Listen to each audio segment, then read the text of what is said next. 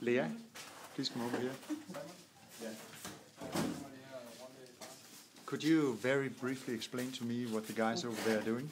Oh, we are at the moment just trying to introduce the new life score. So we are trying to set up how what, how many waves and how many jumps is going to count. And very exciting to introduce the new life score.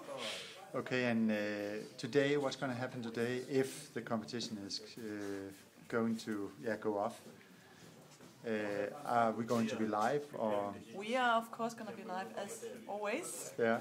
But with the scoreboard. Scoreboard, we, hopefully we are. We will try to make a.